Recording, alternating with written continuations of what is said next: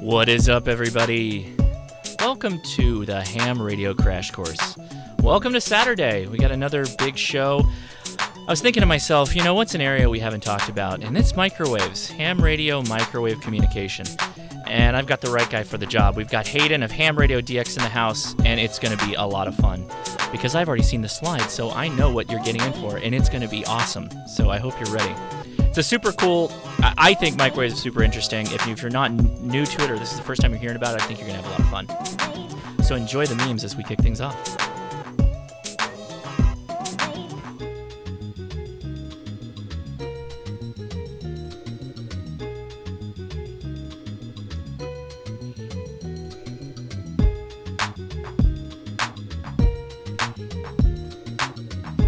There's that white box again. That tells me I still have something broken in those memes, and I don't know why. But anyway, how's it going, everybody? I'm Josh KI6NAZ. You found the Ham Radio Crash Course. Hopefully, again, thanks so much for coming out. If you could, watching this, uh, click the thumbs up. I'd appreciate it.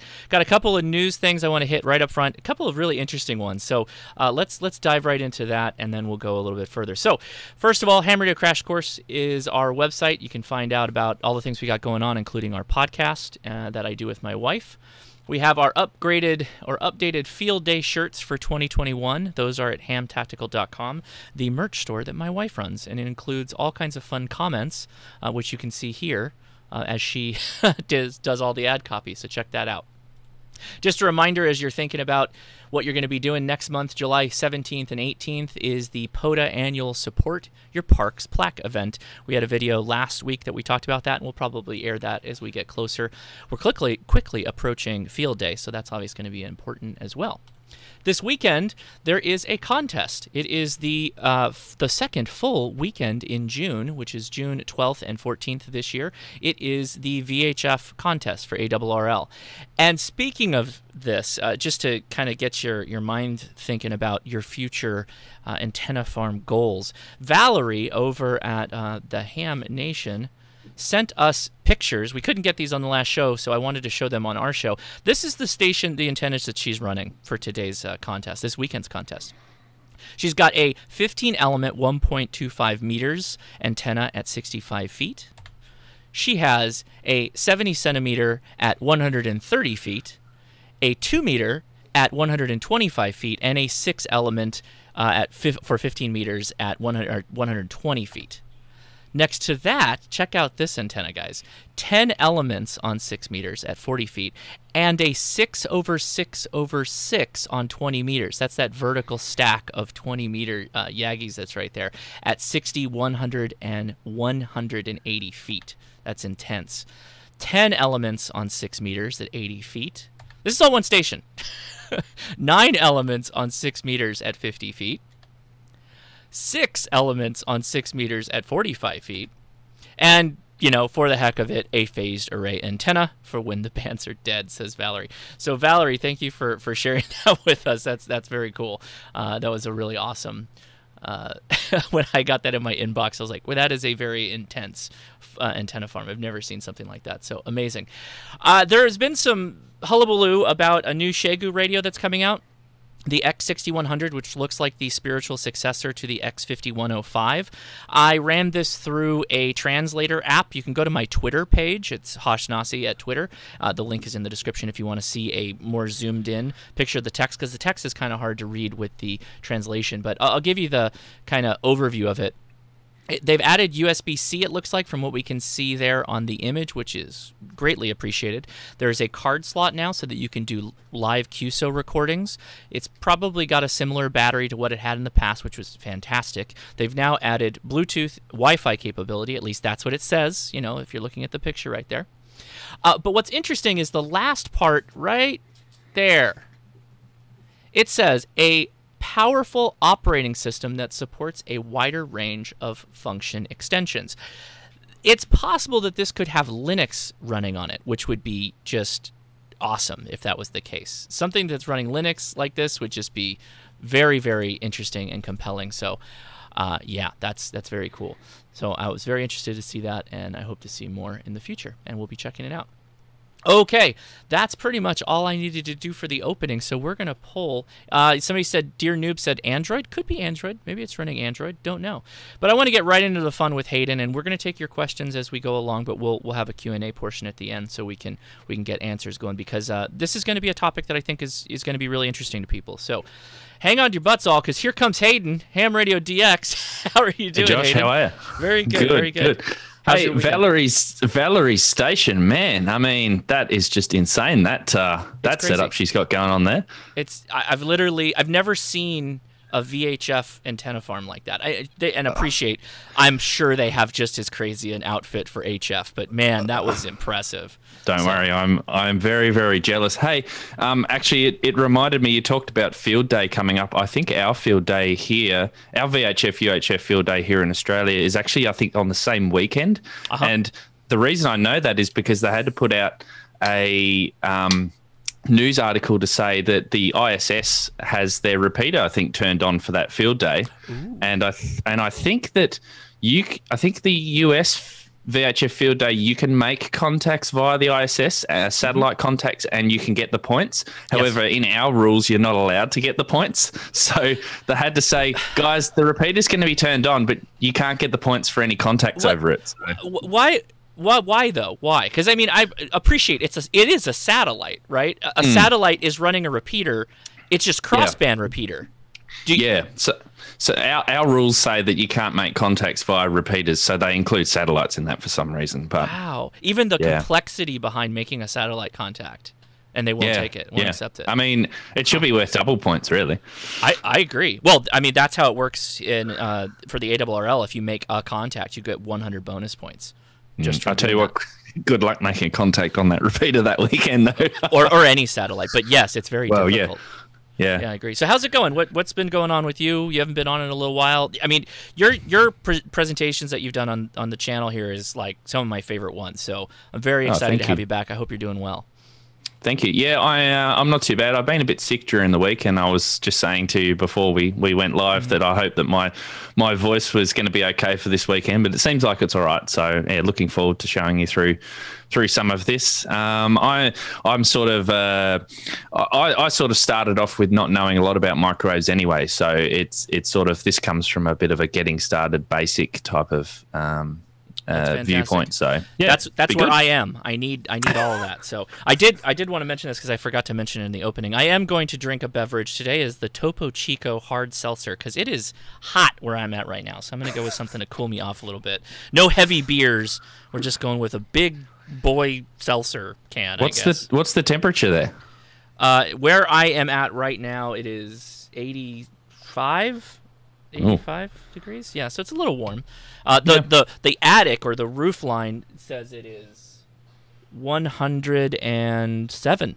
So it's the exhaust fans trying to pull everything out. It's it's warm. Let me just tell you. It's it's cold here. That's all I'll say. Yes. I want to remind everybody as we get started, there is uh, a link in the description to go to Hayden's channel, Ham Radio DX. Because Hayden, what's going on in your channel right now? Something you wanted to mention, I think. Oh, I'll get uh, that's that's in the second slide. Let's let's Okay. get the slides going. Well, fine. Let's move right into it. We got to be all Yeah. professional. Here we go. All right, There we go. cool. And We're I'll get out go. of the way. Let me let me remove myself. you, you get can started. I'll, off. I'll get off. You can go off to the right underneath me if you want. That's Oh, fine. let's do that. Can I do that? Yeah. Yeah, you keep talking and I'll move. Yeah. All right. So we've got uh, so we've got uh, getting started in microwave. So as Josh said, I'm Hayden. Um, I am at a rated call signs uh, VK7HH. I'm in Australia, but I also hold a technician license KD9 SSB, and I'm quite I'm quite proud and quite uh, I like I like I love that call sign. So that was uh, that was random. That was just the one that come from the FCC. So I was quite happy about that. That's pretty Um, good. I'm on YouTube, Facebook, Instagram, Twitter, all under that Ham Radio DX channel. So, uh, uh, uh, sorry, name. So just do a search for it and you'll find me on there. So as Josh mentioned, bit of a shameless plug. I on YouTube currently this morning I had 8,997 subscribers. So I am 3 away from 9,000. So Make if it happen, you uh yeah, so if you want to head over there and check out some of my videos and hit subscribe, that would be fantastic. Um, however, talking about microwaves, I have a couple of playlists, and I have because some of my micro, I haven't done I haven't done a lot of my microwave videos for a while, so I've put them into playlists so that you can find them rather than scrolling back through my uh, my uploads to find them. So on my channel, there's two playlists that you uh, can have a look for. That is to gigahertz and beyond, which is a bit of a, a play on Buzz Lightyears to infinity and beyond, um, and uh, microwave and microwave newcomers. so the microwave newcomers basically has some uh, videos which is detailing the builds, the the, the transverters and, and antennas and things that I use uh, in a little bit more detail.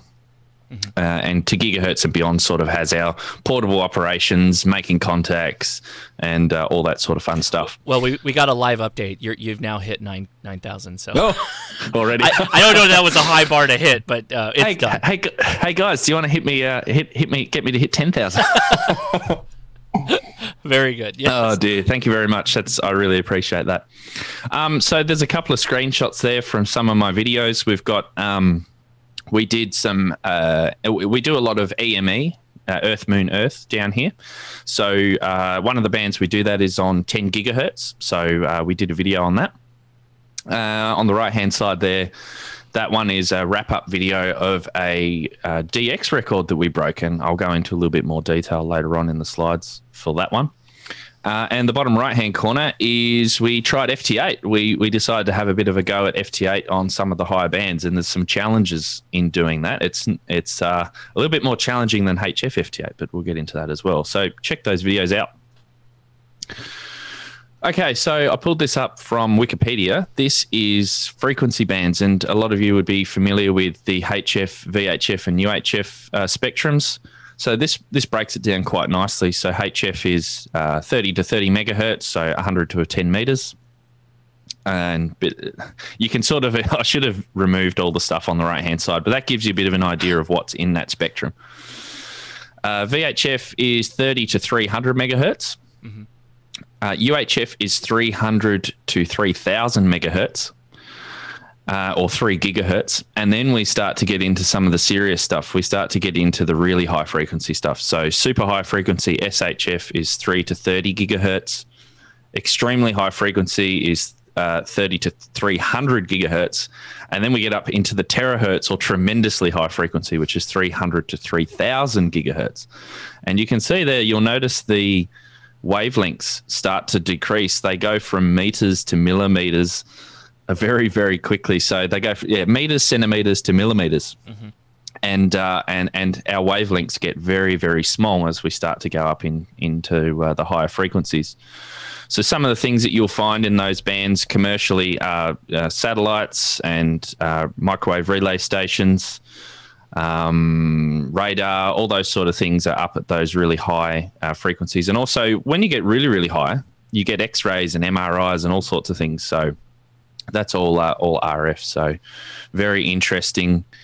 Um, uh, very interesting once you get up to those really high high frequencies. Get pumped! Thank you for the super chat. I appreciate it. Thanks, buddy. Thank you. Means a lot. Yeah, thanks. Get pumped. I forgot to say, Josh, if you do want to just, uh, if I do rabble on a bit, just stop me, especially if we have super chats come in. Thank you very much. Yeah, thank no problem. And if there's a question that I think you can answer at that moment, we'll we'll throw it to you too. Yeah, sure.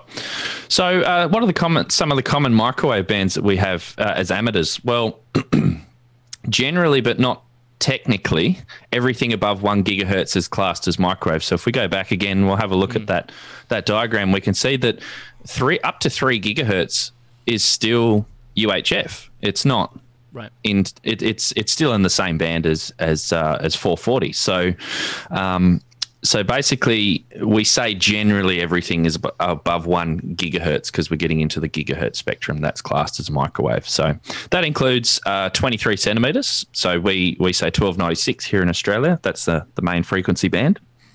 Uh, 13 centimeters, which is 2.4 gigahertz, so same as uh, your common Wi-Fi at home. 3.4 gigahertz, which is nine centimeters. And unfortunately, I think in the United States, you recently lost access, I think, to a portion or all of the nine centimeter band. I, I believe think. a portion. I think it was something that yeah. got rolled back a little bit in, in part, but uh, yeah. Yeah, and that's another thing to mention about all of these bands because they have so much bandwidth. They're in high demand commercially. Yeah. Um, so us using the bands are a very important thing to do because we don't want to lose them. Here in uh, and as you mentioned like here in Australia we've lost quite a lot of spectrum in the uh, 2.4 3.4 gigahertz bands and I think we we could even lose some more spectrum as well in, in other bands. So we're at danger of losing them as well. Um, sometimes I hear the argument that, oh, well, if we're going to lose it, there's no point trying it out anyway. But I mean, uh, we, I, I, think I've been doing this for about four or five years now, and I, we've we've still got spectrum. We're still we're still got a portion of the band that we can use. So, um, and you know, we're talking about too. Like, if you want to do single sideband contacts or CW or something, that's only a very very very small portion of the spectrum. So, I can't imagine that they couldn't at least give us a little bit of spectrum just to experiment with going forward in the future, even if we did lose a lot of it it, it's kind of hard to see a world where it, uh, we lose an entire band. Usually, what mm. happens is it, it gets chiseled away until we mm. get to a point where it's more feasible to the amount of use it's getting. Yeah, yeah. that's what happened to uh, what is it, 220, right? 220, 220 megahertz uh, space band, yeah. 1.25 or something like that. Uh, that one got slowly kind of whittled down over time as, as less and less people, even some mm. countries, mm. have, have kind of gotten rid of it. Yeah, I found that it's easier to uh, it's easier to keep hold of of spectrum that you've already got, even if it's just a small portion, rather than get new spectrum. So, like here, we tried access to the 60 meter band, but we can't get access because the Australian Defence Australian Defence Force uses it primarily. Right. So, um, whereas you guys have access to that band, so um, I think that as long as we've got spectrum and you know, we can demonstrate, hey, we're using it. We use it here. We've got all of these links, all of these people using it, experimenting with it. Then the the the chances that we'll lose it completely are, are, are low, which is it, which it is happens. good. It happens, but it does happen. Yeah, you know, it, I I don't know that. I'm I'm not in support of losing anything. By the way, as I say this, I just feel no. that it's not going to be a total 100% mm. loss like tomorrow kind of thing. Yeah. Um, so some of the other bands that we've got is 5.8 gigahertz again. Uh, so that's six centimeters. Again, we've got uh, your your um, home Wi-Fi. Mm-hmm. 10 gigahertz, which is uh, probably uh, probably one of the most popular um, microwave bands, uh, especially for those who like to do Earth Moon Earth EME. Um, 10 gigahertz is very very popular, and there's a lot of um, uh, industrial ex commercial type of gear that you can that you can get and modify if you're if you're sort of in the real experimenter and want to do that. The uh, the 5.8 that's I think around where AREDN exists, uh, the five yeah. gigahertz space, and and that's a you know that's microwave as well. we talked about that yeah. a couple of months ago, so you know that's totally something that's accessible for most people. That's like off the shelf Amazon stuff. Yeah, yeah, yeah, for sure. And I think because you were using you, you were using Ubiquiti links for that, weren't you? A couple of them are Ubiquiti, but now yeah. I'm on the another. Oh, I can't remember what it is. The MikroTik. Oh, um, MikroTik. MikroTik. Mi- MikroTik. Yep. Is yeah, that how you guys pronounce it? MikroTik? We, we, we pronounce it MikroTik because it's M I K, but. ah, okay. Oh, I can see that. We, we, we say MikroTik, but okay. Uh, yeah, we, we use those quite uh, quite extensively here, and they're actually fairly cheap. Like you can bridge your own Wi-Fi across to your, your oh, yeah. neighbor or or even across town if you really wanted to. I'm so. going I'm going 45 kilometers to a repeater yeah. site from my house, which is like yeah. insane to do that. Uh. While you're on this slide, I know you got one more, but is is there a particular and I'm, you may get into this, and if you are, just you know, tell me to wait a second. Is there a particular reason why you'd pick one band over another? Um, that's actually a good question. I don't have it later on in the slides. Probably, if you're going to pick one band over another, there's a few things to take into consideration, and one of those is popularity and what you want to do with it. Mm-hmm. If you want to do EME, then you would definitely go for 10 gigahertz because the amount of people that are on that worldwide is quite high, um, especially in Europe. Um, and here in VK, I mean, uh, you can you can work plenty of VK 10 gigahertz stations on EME. Sure. And when we're talk when we're talking about this, a lot of this is um, pre-arranged contacts. Right. It's not like you can call CQ and have someone respond to you because of the short distances terrestrially, and also you need to be there at the right time if you're doing EME off the moon, that sort of thing. And, and um, I'll just say the acronym EME is Earth, Moon, Earth. So you're literally yes. bouncing signals off of the moon right, mm. to make that happen. I mean, you can bounce signals off the moon off of any of these bands, but as you start to get higher up in frequency, it tends to become more harder. Mm-hmm. Um, 10 gigahertz is actually a very good band because you can you the the high the other thing is the higher in frequency you go, the more gain you can get into your system. So in your dish, um, and and you can you can have sort of a similar performance to what you get on a lower band. Okay. So sometimes sometimes it's not. Uh, if I try Earth Moon Earth off at 23 centimeters, it's going to be the same as 10 gigahertz. Not necessarily. Sometimes you can get stronger signals on on 10 gigahertz, and it's a smaller it's a smaller setup as well. So smaller dishes, those sort of things. Um, but yeah, as far as what you were saying about picking a band, if you want to sort of start, the easiest place to start would be 23 centimeters, 1296 um, okay. 1.2 1.2 gigs because there's already like there's there's Yaesu mobiles out there. There's the ICOM IC 9700. There's the Kenwood TS 2000 uh, with the 23 centimeter board in it. There's the the old ICOM IC 910. So there's plenty of radios that actually come with 23 centimeters in them. Mm, okay. um, and it's fairly easy to to build up an antenna or to even buy an antenna. You can just Google 23 centimeter antenna, and there'll be plenty of, of diagrams and and how to build them, and also plenty of places to buy them. So, um, but then other considerations for other bands you need to look at is like 2.4 gigahertz. I mean, that's a very noisy and a very crowded band. Um, is that just because so, of the Wi-Fi and everything else that's yeah. out there and commercial yeah. gear that runs off of that? Because 2.4 has yeah. been populated in the commercial space for I mean, going on decades now, right? Mm, Yeah, and I mean, even 5.8 gigahertz is getting slightly right. noisier as well. However, 5.8 gigahertz has the advantage that there's more bandwidth, there's, there's more of the band to use. So it means that you can find a place in the band that's quiet, that's not as noisy as, as say, 2.4 gigahertz because there's um, it's very, very congested. Right. Because I think on Wi Fi, I think there's 13 channels. I think that's right.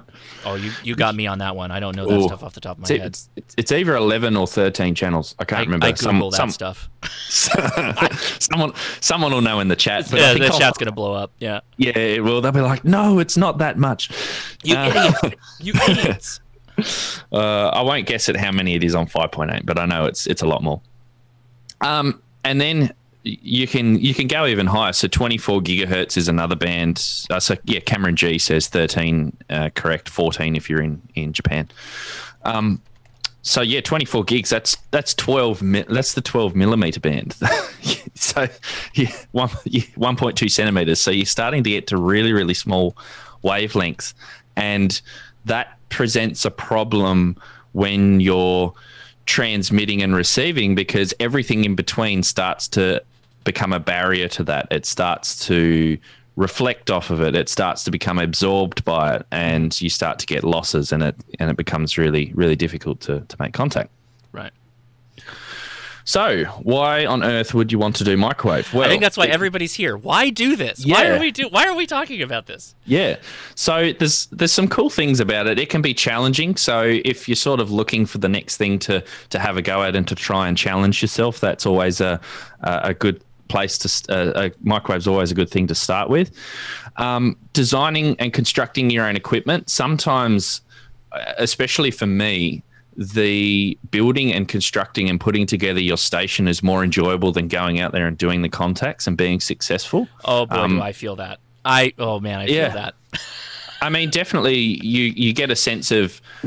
I, I think what re- is really good is when you actually make that, uh, and I and I go into this a little bit later on, but when you make that exc- that that contact that you've been trying for, you've built the system up and you've got it working, and then you make this like rare contact over whatever distance it is, and or under whatever conditions, and you're like, yes, you know, I this is with gear that I built myself, and then. Right.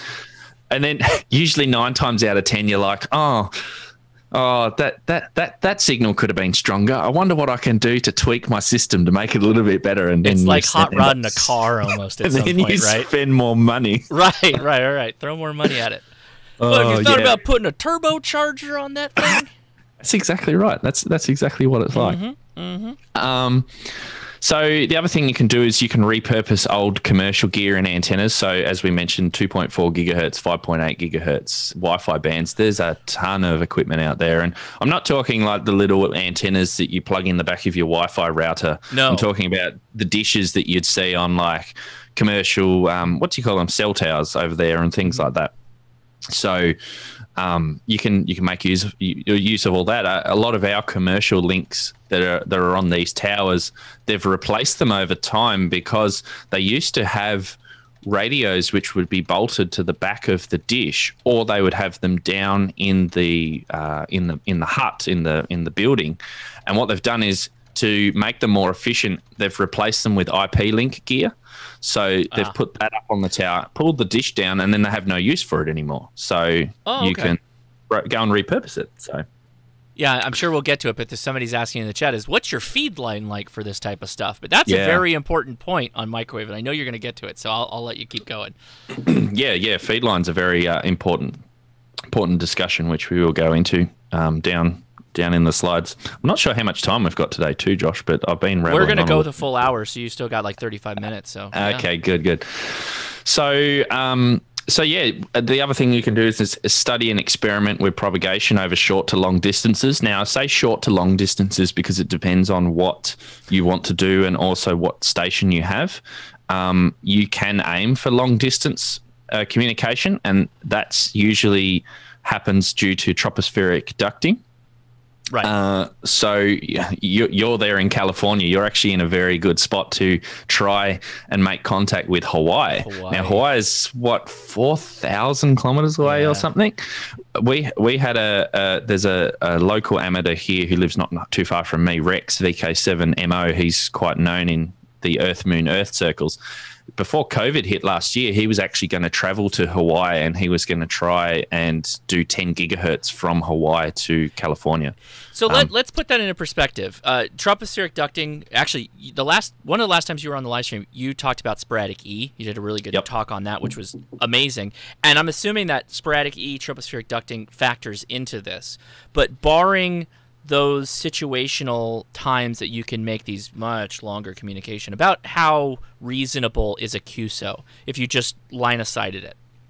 Oh yeah, so um, so but speaking about sporadic E, sporadic E doesn't affect the microwave bands. It doesn't oh. affect anything usually over 220. 220 oh, okay. is probably oh, the higher good. limit. Good. But tropospheric, tropospheric ducting, um, if there's if there's no enhancement whatsoever, um, there's there's no local conditions. You can you can definitely make it's not it's not necessarily line of sight. Depending on your power and your stations, you can have contacts over much greater distances, even with mountains in between. And in actual fact, there's a video on my channel, and I think in a later slide where there is a mountain range between me and another station, and we use a cool propagation effect called knife edge refraction, where the signal will actually bounce off the side of the mountain and then will refract at a different angle down back towards where he's located. And in that uh, in in that video, you can see me. I'm moving the antenna, and I'm moving it just a little bit, and you can see the signal meter go up and down like quite rapidly because of the different angles and reflections that you're getting off the mountains. Um, but uh, but as far as you know, point to point line of sight, then unless you're getting up to really, really, really high frequencies, then you're gonna almost be you're going to be successful every time you, mm-hmm. you do this. Even with very even with very very low power levels, you can do this. You you generally will need to have somebody that you, you is ready to receive, yeah. right? Because this is not an omnidirectional thing, as we're going to get further into this. No, right? No, I mean you can you could you could run omnidirectional on twelve ninety six, uh, one point two gigahertz for okay. sure, uh, because it's it's the lower end and it's actually it's actually surprising how well that band actually does. Um, it's it's it's it's very impressive. So you could definitely run omnidirectional on that band, but as you start to get higher, two point four gigahertz, if you were if you're talking to, you know oh, if you've got a decent amount of power and, and it's flat and you can see a lot of the other stations, then you probably could talk out, you know, um, I don't know, 20, 30 miles maybe with an okay. omnidirectional antenna, depending on how much power you're putting out and, and where that's your receiver impressive, is. Actually, that, yeah, okay. yeah. I, I think that's I think that's pretty impressive. Yeah. Um, and then, of course, it all depends on the other end too, like what equipment they're running. If it was omnidirectional to omnidirectional, it's not going to be good as if you had two directional antennas Sure. pointing at each other. Sure, that makes sense. Um, there's another propagation mode which is quite interesting too, and that's rain scatter. So when you start to get up to these higher bands, if you have a rain cloud, uh, if you have a, a what do you call it, a rain cloud, rain cloud, band of rain, A band of ra- oh, oh, the rain band. Yeah, that's the rain band. The rain band. I've, I've I've heard weather. I'm sure I've heard weatherman call them a rain band before. Yeah, I don't the, know. the the water uh, band plan. You know, there's, there's gaseous water and solid water and liquid water. That's all. That's all just different bands of water. If you think about it. Well, uh, see, this is one of the things that I, I always get caught up with uh, in Australia. We have this saying is, geez, how, how wet was that rain? And it's like, pretty wet. so, I don't know where that come from. Is but that anyway. just means like more rain? Like the if yeah, it's a yeah. wetter rain, it's Yeah, more. yeah. Yeah, Okay, yeah. I gotcha. That's exactly right. Okay. So we have rain scatter. So what you can do is uh, bounce, uh, not bounce, sorry. You can scatter your microwave signals through the rain cloud, and the they'll scatter through the droplets. And a, a station who's at the other end, who may not be able to see you directly, so not line of sight. If you both point your antennas both at that same rain cloud, you can then make contact with one another, and the effects are quite interesting. If you listen on if you listen on SSB, if anyone's ever heard what aurora activity sounds like when you're bouncing a signal off auroral, it actually sounds a little bit like that. Um, this sort of hollow type type noise. If you do it on FM, it's quite funny because the static actually makes it sound like you're listening. It actually sounds like it's raining in the speaker. So. Um, when you're listening to whoever it is, uh, it, it sounds like they they got water droplets on their microphone. But um, uh, so that's cool. Um, as I said, line of sight, but it's not always. You can do high speed data and large bandwidth stuff, such as amateur television and and high speed data across these these links. So a bit like the AREDN uh, network that you were talking about. And you can operate portable, and some people even do this for SOTA, and that is quite That's got to be a challenge. Interesting. Well, Yeah. uh, uh, uh, um, I think it was Red from uh, Red Summit RF, Charlie. I'm pretty sure he did a SOTA active uh, SOTA Summit activation the other day, and he had 1.2 gigahertz with him because I, I saw that in his video. So Wow. Oh, I got to go back and look at that. That's a that's impressive. yeah. Here we go. Okay, so now a lot of people will be going, "What's going on here?" This is this is a bit of an insider joke for all the, the Australians in the uh, in the ch- in the chat and watching. So we have once a year a uh, a, a, a, gathering. So sort of, it's a bit like a it's a bit like a, a hamvention type of thing where it's a it's a technical conference where everyone who's interested in microwaves all gathers together. Now, usually what happens is is everyone who is seriously involved in microwaves has a beard. So we come up with this insider joke that your beard length depends on how much gain you get on the microwave band. Right, so right. uh, so so we've got here we've got myself at the moment I've got unity gain I'm, I'm working towards 3 dB and and and uh, I think uh, Josh during the middle of COVID you were probably hanging around at about 3 3 dB Yeah, I was. I definitely Yeah. was. Yeah, I, I don't get vertical so much as just all over, just out. just from every possible direction. And the ultimate is uh, is is 6 dB uh, that's uh, that's when you really start to uh, uh, you, really start to get the gain on uh, on microwaves I So- like it. So that's all. That's a bit of an insider joke, yeah. So uh, the the the better the beard, the more the more gain is. So, you, uh, but the the prerequisite, the joke is the prerequisite is to do microwaves. You need a beard. Just Right. just saying. Yeah. Okay, so some of the things we do locally here. Uh, Earth, Moon, Earth, Moon Bounce, as we said. Uh, so the some of the photos there, I'll just point out that's uh, Rex VK7 Mike Oscar with his uh, little portable setup. His little, I think that's a 60 centimeter dish. Uh, and down the bottom there, I think what they are doing is they have their dishes set up pointing at the moon, and they're listening to uh, the. In Germany, there's a 10 gigahertz beacon that that tracks the moon and transmits power uh, on 10 gigahertz that you can actually tune into and listen to the beacon. And what that is handy for is you can see what your system performance is like and whether you can hear the beacon, um, which is pretty cool. Um, so, as a, as you mentioned before, Earth, Moon, Earth, that's using the moon as a passive RF reflector. I think I'm now I shouldn't math on camera and I should check my statistics before I do this, but I believe that the moon is only 1% reflective, I think. Wow. So okay. you get a lot of loss. Um, if you're on the moon, you get an awesome signal, but uh, not coming back. Uh, so that's why we use mainly JT65 or WSJTX modes. Um, not so much FT8. FT8 was sort of designed for six meters and sporadic E, and then was used in HF. Uh, FT8 has some restrictions, which, which I mean, you could, you probably could be successful, but the main one is JT65 because that takes into effect Doppler and and uh, and other. It, works a lot further down in the in the um, signal strength. I think it decodes down at like minus 25 or 30 or something like that below the noise level. Um, and Rex is the current VK and world record holder for microwave EME on 10 gigahertz. So he has the furthest distance on 10 gigs. Okay. Um, and the he we we also have nearby a uh, radio telescope, which uh, quite a number of years ago they put a 1296 megahertz, 1.2 gigahertz antenna in the feed, and we're talking like this is a 35 meter dish or something. Mm. It's huge, and uh, they had a EME moon bounce contact on on SSB. I think using half a watt or 50 milliwatts or something like that. It was wow. ridiculously slow amount of power. And the, the guys at the other end, I think, were in Western Australia using a similar type dish, and it was like five nine signals off the wow. moon.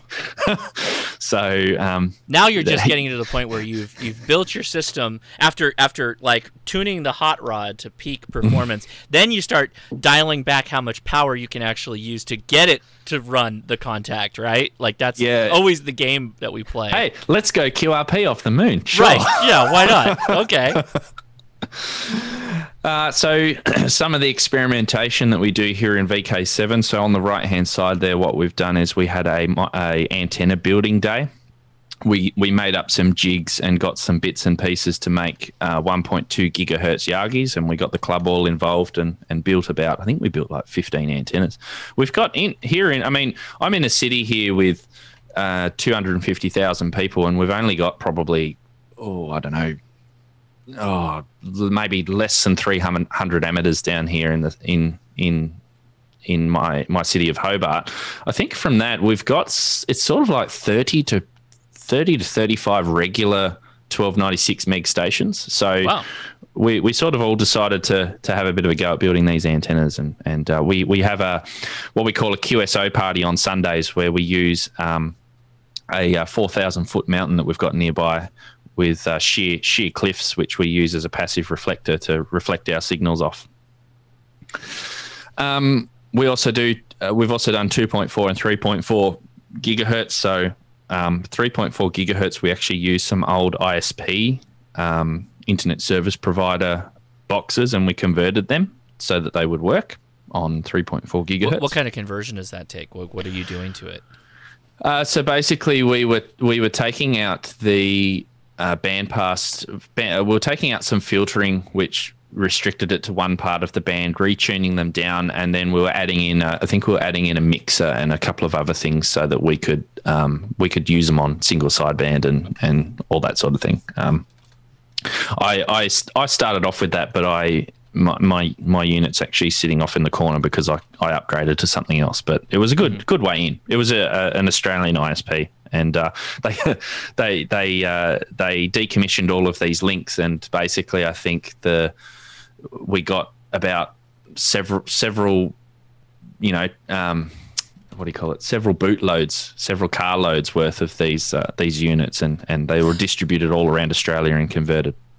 Oh wow. Okay cool uh, so 10 gigahertz, as we mentioned, that's terrestrial and EME. Uh, when you when you get up to 24 gigahertz, that can start times that can start to be more challenging because you start to get water absorption. So um, I, I, mentioned about rain scatter, how right. you can scatter off of rain. Sometimes, if you have too much water in the air, so if you have uh, um, a, quite a humid day, or there's there's too much humidity and too much water in the air, then you can start to get um, issues with the the uh, the the signal being absorbed. And now we have just started here in Australia experimenting with 122 gigahertz. Oh my goodness! This is using radar chips out of radar guns, I believe. So, uh, oh, that's cool. this, that's super the, cool.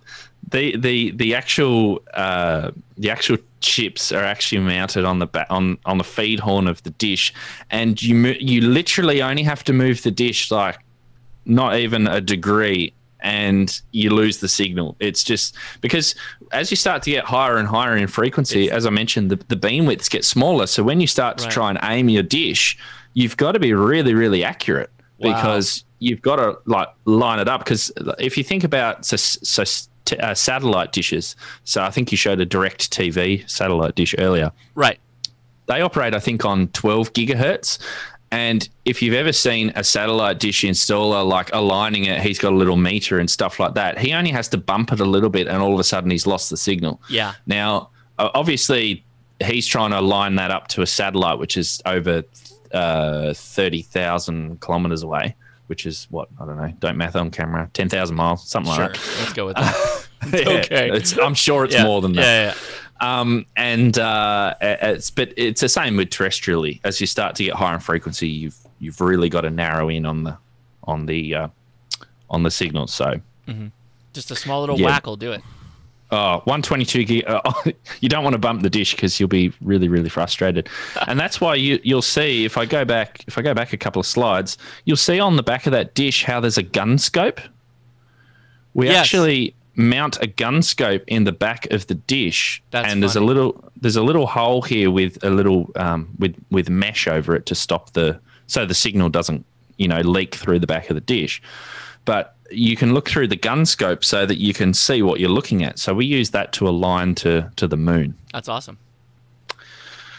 Uh, so uh, something else that we have experimented in down here in years gone past is optical. So this is up to uh, up at 470 terahertz. So this is spectrum that you can see. This is red light. Wow. Okay. Now, what this was is this was focusing on non-line of sight paths and scatting these over in particles in the air. We're talking like dust particles and just small, small particles. Um, I think we called that one down the bottom a cloud burner because it was that that bright. It had to burn through the clouds to get to the other end. That also um, has a scope on the side of that box on the it, left there. It does, yeah. Uh, so, so that the contact was between VK7MO Rex and, and Joe here, VK7JG. Unfortunately, Joe's a silent key. He was one of my one of my original Elmers, and uh, I was very sad when when he became a silent key. But they they uh, did uh, one way one way communication over um, a, a, length of water that we call Bass Strait, which uh-huh. was 130, 136 miles wow. using uh, using light. And uh, obviously, these you need to GPS lock these, you need to GPS lock the sound cards and everything because when you're at that frequency, uh-huh. it's it, it's yeah quite insane. So I'm, um, I'm just curious, just looking at this. Uh, this looks like you guys harvested a lot of Fresnel lenses out of televisions. I, I, I believe so. To to focus it in on one area. Yeah, right. I don't know an awful. I don't know an awful lot about the uh, the box. Um, I've only cool. seen it once or twice, uh, but I do know that there was a story. Uh, you I mentioned that four thousand foot mountain that's nearby. Uh, they had one of these set up on top of it, and the 4,000 foot mountain looks over the city. Mm-hmm. And when they turned it on, there was this red glow that was coming from the top of the mountain. And I, I I believe, I think they had the cops turn up and were like, what's going on up here? Because they had all these people ringing up going, we can see this red glow from the mountain. We think there's a UFO or something up or there. Like We're not sure what's going on. It's red, yeah. you know, who knows? Yeah. So, uh, so that was quite amusing, but they were just like, oh no, we're just, we're just amateur radio operators. uh, um, oh, and um, actually, while I think about it, uh, Rex back here with his dish. He he was in the Northern Territory in a remote part of the Northern Territory, and uh, he he un- inadvertently set up near a Defence Force airport, and uh, was trying to uh, make contact with uh, with the moon. And he had some uh, some Australian Defence Force people on his uh, on his case very quickly, asking him what he was doing, trying to shoot signals through airplanes. Right, right. Really quick, Christiana, thank you so much for the super chat. I really appreciate it. Thank you. Thank you, Christiana, and I hope you're feeling uh, feeling Yeah. uh, better too. So Yeah. it's good that you just got home from from hospital. So that's great.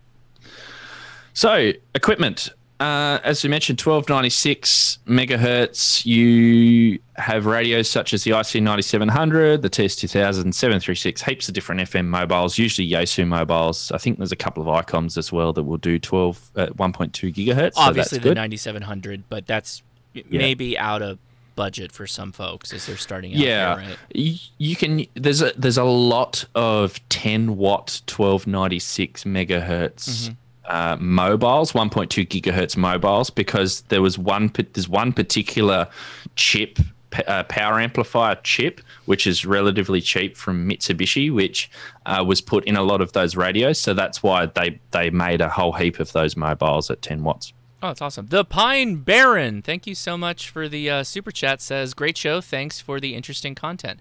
That's the fastest way to ask a question if you throw a super chat. But I am capturing the Yeah. questions, and we'll we'll take them as we go. And I do have a list that we'll get to towards the end here. So thanks for your comments.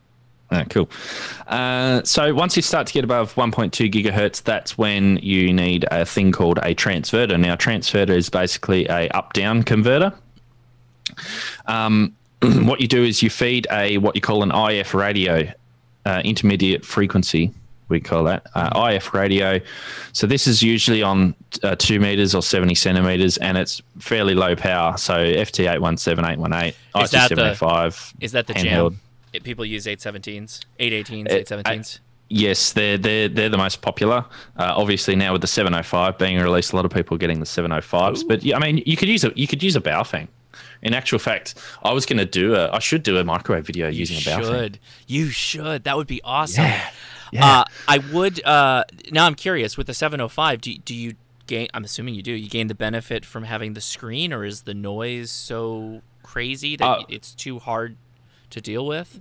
No, so the the benefit of the 705 over the 818 and 817 that I had was the waterfall because you can sometimes if especially if your your equipment is not locked to GPS, so if it's not right on frequency because the higher in frequency you go, the more likely that you're going to be off frequency because of your your oscillator in the radio in the uh, in the transverter needs to be right on frequency. If that drifts or moves, then you could be sitting there on, on what and you think you're on the correct frequency, but you can't hear the other guy because he's five, ten kilohertz further up the, the band. Gotcha. Yeah, I remember. So you did you buy a 9700? You did, right? Yeah. Yep. And you had a couple of videos out on the GPS locking for the 9700. You were kind of right up front with the issues that were discovered with that. Um, Yeah. So okay, that makes a lot more sense now. I, I was kind of curious. I'm like, why does anybody care about this? But then um, the more you think about it, with the higher frequency stuff, absolutely. Okay, that makes sense. Yeah. And just to answer Don's question in the chat quickly, locking to a GPS, yes, it, do, it does mean a GPS DO. Right. So base, the the principle behind that is that if everyone who is if everyone frequency locks their radio to a GPS, then the next person who locks theirs to a GPS, it's all the GPS becomes the reference. right. The, the that become and then everyone will be on the correct frequency because they're all using that one common reference. We're talking clock However- reference, right? We're, yeah, we're talking frequency reference. Oh, yes. okay. Sorry. Yeah. Yeah. So um, if you've got, uh, if you have multiple stations all using different oscillators and they're all slightly off frequency from one another, that's when you run into problems. So the IC705 is handy because I could see the waterfall. So I'll be like, oh, he's 10 kilohertz further up frequency and I'll just move Oh, further ah, up. Okay, so you can um, compensate, but ideally, if you were all frequency or GPS locked, then you'd be, you you would have an easier go at it. Yeah, yeah. Um, and GPS locking adds an extra layer of complexity, of course. So um, it's not mandatory, but for, for some of the high bands, it is mandatory, but not for some of the lower bands to get started in anyway. Um, so the way a transverter works, basically, uh, as I said, it has a local oscillator and that mixes with the IF radio frequency. So, for instance, if the local oscillator of this transverter on the right hand side here uh, was 1,152 megahertz, if you were to add 144 to that, then you would get 1296 megahertz There out. you go. Uh, and so, so yeah, if you operated on one, if you had 144.1 written on your radio, you'd be actually operating on 1296.1 megahertz. Just that easy. That's you're just adding numbers, right? Yeah. Um, and and this is this is one of the transverters. We'll get into equipment and where I got it from uh, soon. But uh, this prices, is a very everybody. We're going to cover prices, what uh, Yeah. modest station you can put together, as well as you know if you wanted to, you know, well, we'll, we'll you'll see. yeah. Um, but this is a very this is a very easy one because basically all you do is you just plug in your radio and plug in an antenna, and that's it. You don't have to do anything else. Love that. Is So- there any kind of uh, amplification on that, or is it just? No, so this is a barefoot one. The uh, power output of this is two and a half watts. Okay. So it's not too bad. Two and a half watts will get you across town easily, line of sight, especially if you've got a decent antenna. Some of some of the guys here uh, in in VK, we mount these to the back of like on tripods, right at the antenna. So we're talking about feed lines earlier. They mount them right at the back of the, the antenna, and then what they'll do is they'll run a longer piece of coax to their IF radio, which is further away from where the where the Yagi or the dish is, and then that way they can they don't have to operate right next to the antenna. Gotcha. Okay, that makes sense. So ideally, you want directional antennas. So Yagi uh, for some of the lower bands. When when you start to get above 2.4 gigahertz, a Yagi is becomes very hard to make because the elements become very very short. Christiana again. Yeah, Christiana. Josh, uh, she says, Josh, most communication satellites are geostationary orbit, 2,236 miles above the equator.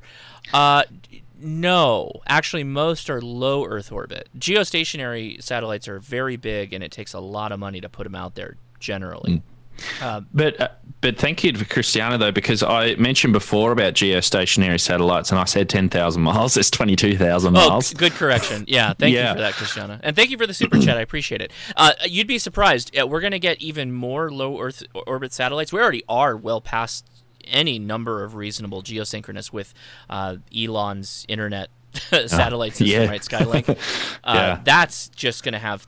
I mean, there, if anybody's worried about, well, we should all be worried about trash on the ground, but we're all going to be talking about trash in space really soon here when we start losing mm-hmm. satellites that just, you know, smash into each Yeah. other. There's whole there's It's- whole sections of NASA whose job it is to just monitor space trash. Just want to point Yeah. that out to people. And the, and have you ever seen that? Have you ever seen that diagram of the Earth and it has all of the space trash around it? There- there's you can't actually see a the website- Earth anymore. There's a Yeah. website you can go to that tracks it. It's amazing. Yeah. It's actually a lot of fun to watch.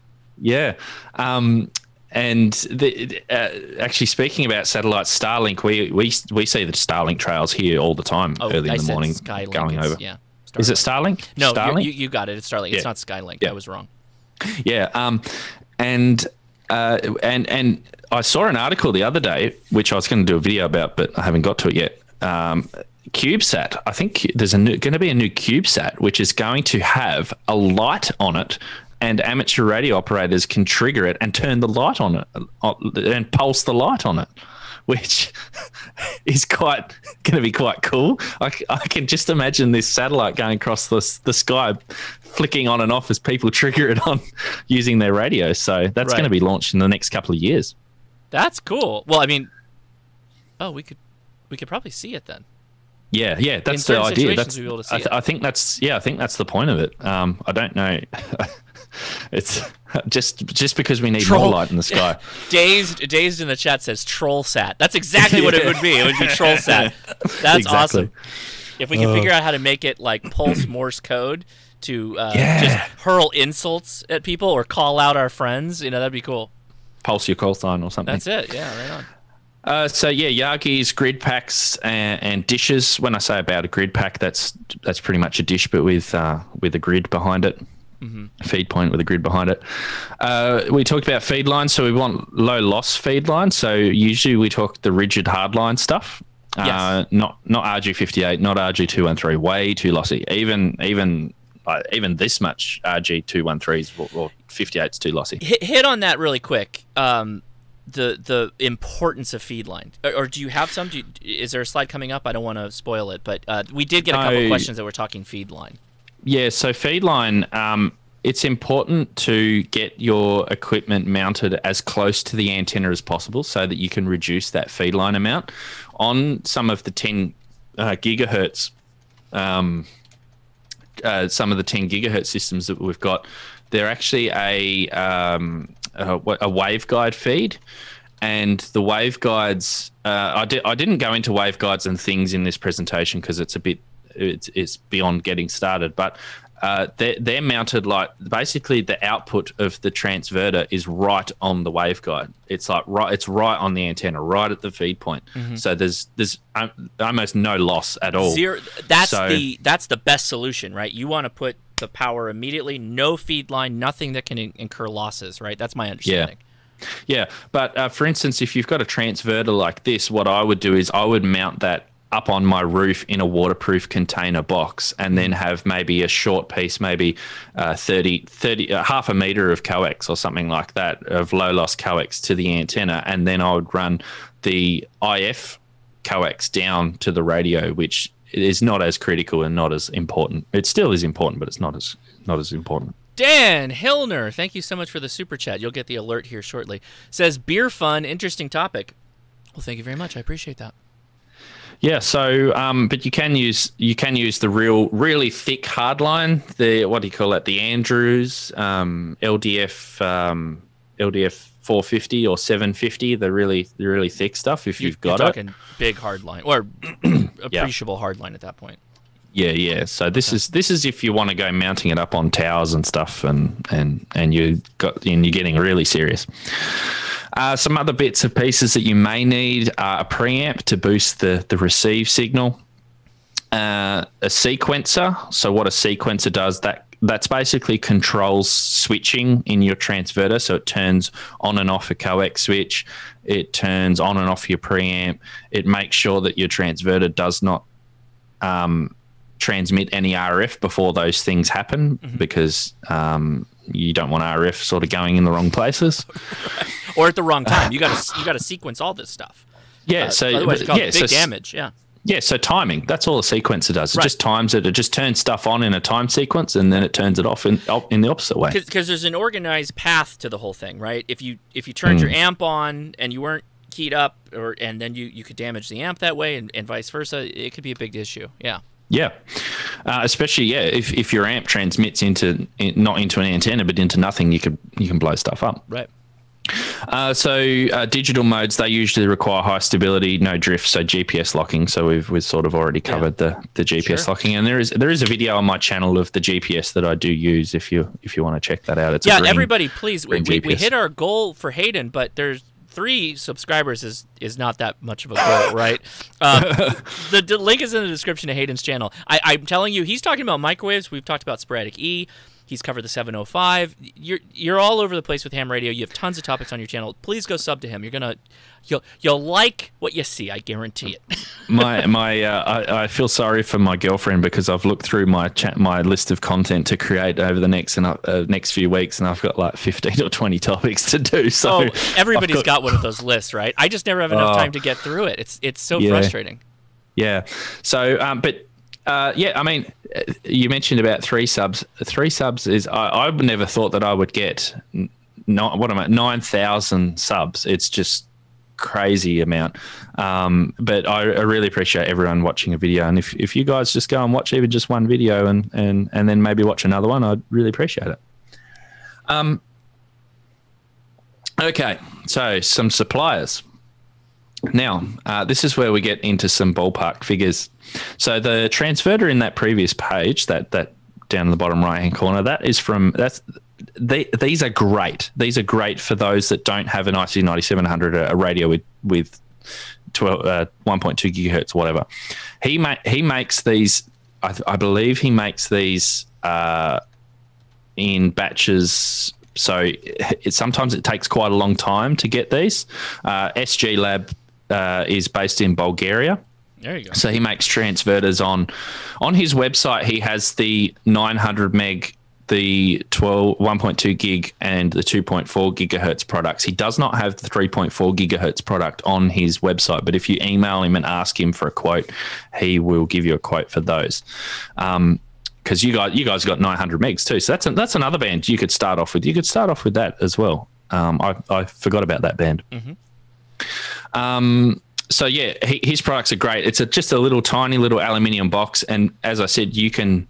It, it, actually comes with a little PCB antenna, so you actually have everything that you need to get on the air with if you if you want to run it portable or, or for a field day or something. Because you imagine a soda SOTA summit or a or a field day trip or something where you've you're very close to everyone. You could just have one of these, just you know, mounted on top of a little little mast with the little PCB antenna and hooked up to your handheld on FM, and you're on the air. So very easy. Um, transverter costs roughly about two to three hundred dollars. That's US. Um, okay. he, he quotes he quotes the prices in euros. Um, and if you want to get something with a little bit more power, he has a 25 watt amplifier, which is which is two hundred dollars. Is that like big power, 25 watts? Is that like on on well in in the 9700 you get 10 watts out on 1296 so you're getting you know 3 dB and a little bit more on on uh, using that amplifier. It's okay. not. I mean, you could get. There's some suppliers. I think W6PQL. If you Google that call sign W6PQL, I think that is his website. You can get 300 watts on 1296. So um, you can get some insane amounts of power. is that like? Uh, I mean, what would be the application for that? That would be for Earth, Moon, Earth. Um, okay. F- for, for EME, yeah. I mean, you could use it terrestrially, and you'd have a very, very good signal. Um, but does that become? I mean, I, I'm I'm sure a lot of people are watching this and are like, "Is this dangerous? Am I going to kill somebody? uh, oh, am I going to have yes. a bird fly by and have it drop out of the sky? Like, what? We should so cover that too. Yeah. Yeah. So that's a very good point. We'll just cover safety very quickly because I did neglect to put we, safety. We always cover safety very quickly on this channel. That's our goal is to cover it very quickly. I'm kidding. I'm kidding. Go ahead. Uh, so safety. So yeah, when when you start to get up to these higher frequencies, don't stand in front of the antenna. that's the easiest way to say it. You'll notice too on that dish photo, you, we've got the gun scope uh, pointing through that hole, there is mesh over that hole to protect us so that there's no RF leaking back through that. So that because RF at these frequencies can be quite damaging, especially to your eyes, your retinas, to skin, mm-hmm. um, because it can penetrate skin. That's how x rays work. Particularly so, your eyes. It'll mess your eyes up real bad, right? Yes. Yeah. Yes. So whatever you do, whenever you're transmitting any kind of power, don't look or don't be standing in front of the dish or have people standing in front of the dish. Kids, remember what the police told you. Don't stand so close to me. Chris C has it. Uh, Chris C says safety second. I always go safety third is kind of my default, but uh, yes, Chris, I, am with you. Thank you for the super chat. I appreciate it. So uh, there's some sort of there's some sort of rough guidelines to get to get started. Obviously, the economies of scale get blown out proportionally depending on what you want to buy and where you want to buy it from. Right. Um, and and how far you want to go. Uh, you can even get started if you're if you're if you're if you're smarter than me because I'm not this smart. You yeah, can. You're very smart. You're very smart. I don't know sir. about that you can you can get the individual mixers and the and the individual feed horns and the oscillators and you can build it all up from scratch if you really wanted to but mm. what what what these suppliers is they offer you a in the box ready to go out the door solution that you can just get on the air right so this is more of a, a boutique in, I'm guessing when you start to, to get into microwave territory, you're looking more at boutique handmade yeah. stuff. This is yeah. not a mass produced product. You could go get a 9700, but that's like, you know, $1,500 or, or whatever it is. Yeah. Um, and then you'd have to feed it appropriately and all that fun stuff. Or you could get this very specific kind of niche equipment that mm. arguably not if you're thinking about ham radio off the total, like 500 bucks for a, a transverter and a power amplifier is not bad in my eye, but I don't know and and uh, and I mean, uh, you can you could also find stuff on the used market. You could find a, a ten watt mobile. Um, you, I say mobile, you say mobile. Uh, mobile, uh, Sometimes I say mobile. use. I, I really, I'm uh, I'm I'm fluid with some of the words I use. I guess, but I don't know. Ask me how many um, uh, Topo Chicos I've had. And, uh, you know. or aluminium. That's the other one. Alu- I don't say aluminium, nor do I say uh, what's the other one? Not not with Australia, but the uh, Jag Jaguar or Oh, Jaguar. Jaguar. Yeah, yeah I don't. Yeah. I think I say that'll, Jag- that'll, Jaguar that, is. I, I appreciate that we're saying it wrong. I, I solder, appreciate that. Solder. So, solder everybody hates the way I say solder, and I'm like, yeah. I don't care. Thanks for pointing it out. I don't care. that'll stir that'll stir Don up in the chat. I think he uh, he loves the the aluminium aluminum um, Oh, argument. yeah. So Yeah. um, we've got the uh, we got DB6NT. That's the Kuhne uh, shop in Germany. Um, oh, and sorry, you mentioned about handmade. I believe the SG Lab. A lot of that is is handmade stuff. I think he gets the circuit boards made up, but he has to sort of mount them in the box and do all that sort of thing. And and guys, I want to remind everybody. I think most of the links are in the description, but if they're not, this is a really good opportunity to go to Hayden's channel and check out a lot of his videos because it's all linked there, so you can you can find out what you're looking for. Because it'll be more form specific for probably what you want. This is just a high level overview on what microwave Yeah. has to offer. So yeah, sorry, keep going. No, that's all right. And um, so he's got he's got a lot of transverters and and different bits of equipment, um, low noise amplifiers, power amplifiers, right up to 47 gigahertz. Um, quite expensive, but it's the high end stuff. You're going to have no problems with it at all. Um, oh, another thing to also be careful of when you do get a transverter and you're using your IF radio, so your handheld or your IC705 or 818 or whatever, be careful how much power you put into it because there Sure. are power limits. So the Yeah, you could fry your. I mean, it, it is an amplifier. It's a power amplifier, right? So yeah, you- so yeah. yeah, you got to be careful how much power you actually put into it because you could you could blow it up. Do not run too much power through your exciter, or you could More power. damage your amplifier. Yeah, Uh, there's a good American reference. Oh. That's my favorite show. No, it's Um, not. Is it? It is. Yeah. Your favorite 100%. television show? Yes. Favorite? Yes. Yes. Home Improvement. Yes. It it it Like was to this day, or Yeah. like when you were a Yeah. kid? no to this day. Do you bit- do you thi- still watch it?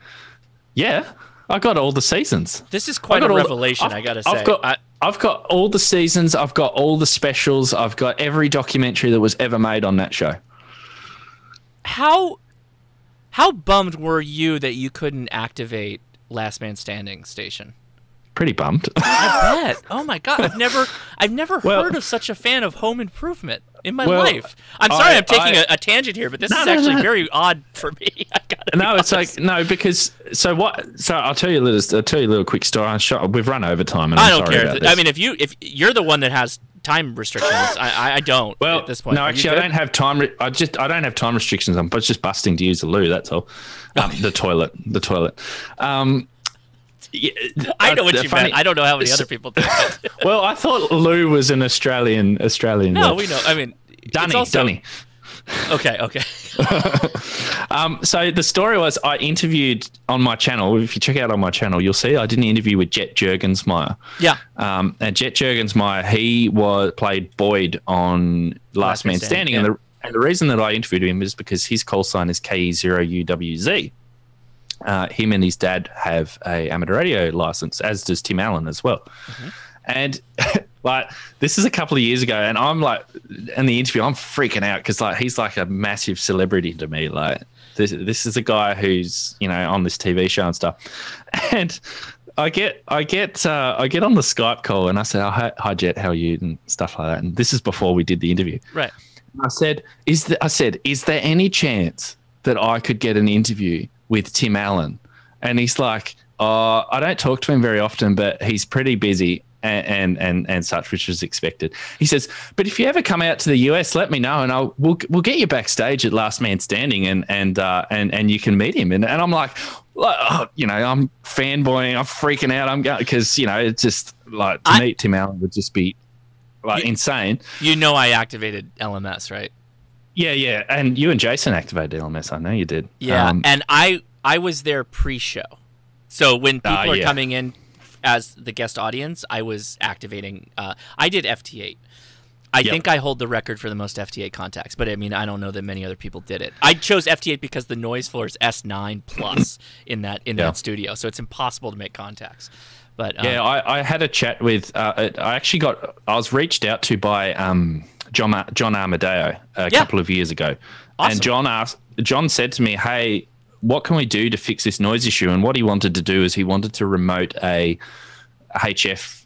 Uh, his the, the HF on set station. He wanted to move that to his office, which was much much quieter, and then run back the uh, uh, the receiver, sorry, and then run it back over 70 centimeters. And we talked about that for a couple of times. And I actually interviewed him just before when Last He's Man great. Standing was wrapping up. John yeah. is amazing.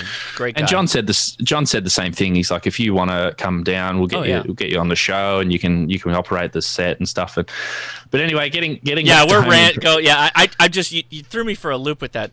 Getting getting back to home improvement. When Last Man Standing first started, I was like, "Oh, this is going to be so good because he's back on TV." And then it was like, "Hey, Ham Radio's on this channel, uh, on this video, on this TV show. How cool is that?" And um and and uh, I I was just like, "Yeah." uh, I've always said that if there uh, there's some other things that you don't know about me, Josh, too. I'm about it being a massive home improvement fan, but we'll save that for another day. Um, But but stalking uh, if, Wilson. no, the guy that played Wilson, uh, unfortunately, he is a silent. Did he key, pass away? is- Oh no. Was he, did- actually a ham did, radio yeah. operator? No, no. Uh, but ham radio is mentioned in an episode of Home Improvement. Funny enough. Is so um, Okay. I, I, I don't reckon anyone actually knows that there is a there is an episode where someone someone mentions ham radio. But um, but yeah, uh, I I This I've was always a, this was a tangent I did not expect to go. I always I always said that i the story. I'm getting to the story. I always sorry. said that if home, if Home Improvement ever did a reboot or reunion show, barring if I could get over due to COVID, that would be the thing that would definitely get me to the United States. I would be there on the next plane, landing in Los Angeles to sit in that studio audience to watch that show. So, wow. Um, All right. but yeah. Anyway, um, so yeah, all from that grunt we got to we got to tool Well, time. well, thank So- you for taking on this, taking us on this journey, Hayden. I, I really appreciate it. oh, honestly. Um, so, uh, getting back on topic, Down East Microwave, they are in Florida. They also sell microwave gear. Uh, and then we have Minikits. So they they sell kits that you can put together. So microwave type kits um, and bits and pieces. They're based in Australia. And then eBay is the best uh, source of um, of parts. So preamps, attenuators, hardline coax, SMA connectors. You can get all of the good stuff off of eBay. Um, And, relatively and cheap from China. That you sent me all the links in the description. Yeah, if you have a look at some of my microwave videos on my channel, uh, you'll see uh, I do put eBay links uh, for some of the stuff that I've got from China on there. Uh, so quickly, what I run, excuse me, on 1.2 gigahertz, I run the IC 9700 with that 25 watt power amplifier, which is also a, a preamp, and LNA, a low noise amplifier. In So one. that's that, that steps you up. Yes, so that will step that that's that if you look at the antenna down the bottom, that's a 36 element Yagi. And I run LDF 450. This is at my remote station, by the way. So I remote the IC 9700. And in that box is that power amplifier. So as you can see there, it's a very, very short coax run to the antenna. And then it also doubles as a low noise amplifier. So that boosts the receive signal back down Oh, to my cool. IC Okay. 9700. Yeah. Uh, on my 2.4 gigahertz station, that is a portable station. Um, I use again, I use that SG Lab transverter, the little silver box, and I use a I use a Spectrian power amplifier, which was I think pulled out of old commercial gear in the United States, and that will do 63 watts on 2.4 wow. gigahertz. Okay. So you, your your average Wi-Fi Yeah. router probably does 10 to 50 10 to 50 milliwatts. This will do Right. 63 watts. So Just to as we the said, hair off your head. Yeah, don't stand in front of it. Uh, in actual fact, we could probably cook your hot dogs using this. So uh, well, so secret secret answer. Why did I bring Hayden on? Really, it's I need to know how to cook a hot dog with a radio, and this is the way. I think this is how we do it. yeah, uh, go go up really high in frequency, and, and then you might be able to get some RF burns on a chicken or something, perhaps. So Oh, that could make maybe an light a cigarette. Video. Yeah. Um, so that's also uh, got a preamplifier, a sequencer, bandpass filter. The bandpass filter is actually to filter out all of the Wi-Fi stuff. Sure. And uh, and a, a coax switch. So, um, and and I use a, a an X an old Wi-Fi grid pack antenna, which I bought off eBay. That was that was I think ninety bucks, ninety dollars. It wasn't very expensive. That's And the uh, the metal antenna you see on the right hand picture. There. yes, yeah. So that's a TP link. That's a TP link one. You can buy them off eBay. They're really cheap Cool. and that's just plug and play. And this is inside, so it's it, it there's a there's a lot going on here, but basically all you've got the you've got the silver box, which is the transverter, uh, you have the the there's an N connector on the back of the, this here. You can't quite see it, but basically the radio feeds into that, and then out of that you can see there's two ports. There's one labeled RX slash TX and another labeled RX. And what that means is that RX TX is actually transmit out, so that goes using over that blue coax straight to the amplifier, the power amplifier on the right hand side. And then it goes into a coax switch and then out to the antenna. Whereas the other line, which is receive, RX, goes through that bandpass filter to notch out all of the Wi Fi stuff into a preamp and then into the other side of the coax switch and out to the antenna. Um, that that amplifier gets crazy hot really, really quickly. That's why it's on such a big heatsink, it, and it's got three. It's actually three fans. You can't. You can see two fans at the back, but there's three fans there. Is that board isolated on the right just for noise isolation? It's kind of Uh, just isolated. floating out there in space. It, it there's nothing around it. Oh no! So, so that board. So the board on the right hand side is the power amplifier Okay. board. So the reason that it's there is you can't quite see, but there's actually a, a whole bunch of heatsink paste underneath it, Oh, and okay. there are there are screws that screw it down to the to the the the heatsink that you can see. So you, I'm not sure if you can see there, but that black that black slab on the right hand side that it's sitting on is actually a heatsink. It's a it's a big piece of metal. So Oh, okay. Very um, you can't you can't quite see it in that photo, but It's that thermal mass. Oh, it gets really hot, especially when you're running digital modes. It gets really hot. Oh, I bet. Sure. Yeah. Yeah, it's not very efficient. That's the problem. Um, so my 3.4 gigahertz setup is again the same an SG Labs transverter, the little silver box. This is using a Stealth SM3437 power amplifier, which will do 20 watts. Same thing again, preamp sequencer coax switch. I've got two antennas. I've got, uh, sorry, three antennas. I've got a panel antenna, which is on the right. You can just see it on the right hand side behind the box on that photo. Okay. Um, I've got a 65 centimeter dish, and then we've also got a 1.2 meter dish, which is the one with the lightning bolt. And uh, that's using a, a feed. We changed the feed point out, which is a, a an old tomato soup can. So all that all that is is the tomato soup can has a little uh, an N connector drilled in the side of it with a little quarter wave quarter wave uh, probe that just sits at the correct spot in the can Right. and uh, and then basically the signal the signal will come out of the out of the can reflect off the dish and that's where it's it's um it's uh and, and that's how that works Very cool. And again same similar sort of thing this one, that heat sink. Oh my goodness, that's a big. That's a big. no well see that's yeah, oh, the purple one yeah Yeah. yeah, that's uh, that, that that that doesn't get as hot as the other one so uh, but but it does get it does get rather hot but that that P, that power amplifier I bought off eBay as well um, I think that was about $130 so that that wasn't all that expensive either 130 to 150 dollars um, and then I've just got the the SG Lab transverter on the right there that just that just drives it Okay. I mean, there's a Uh, lot of wires going on. I got to tell you, that is a bit. Uh, I'm looking at that and I'm like, maybe I can't cook a hot dog uh, within the next month. No, my uh, my yeah that that setup. So it took me a while to build these setups. I I did it over the course of probably. Uh, a couple of months to build this up, just so that it. I mean, Okay. that's not ne- that's not neat at all. Don't look at my my wires going everywhere. It could be an awful lot neater, but I, I, Um, I just appreciate what's going on. There's there's a lot. Uh, there's a lot going on. Yeah. Um. So some of the achievements that I've had on microwaves, I've had. I, I now hold the national VKZL record on 1.2 gigahertz. That Wow. was over 1500 miles that's cool. using using that 36 element Yagi. Um, I now also hold the VKZL record on 2.4 gigahertz, which is 1478 miles. Uh, interesting stat. Interesting thing about the 1296 megahertz record. Someone broke the record, and then I broke it seven minutes later on the same day. so Oh man, how pissed off were they? uh, he was like, "Oh, I've." He's. It was He the didn't first. even get a day out of it.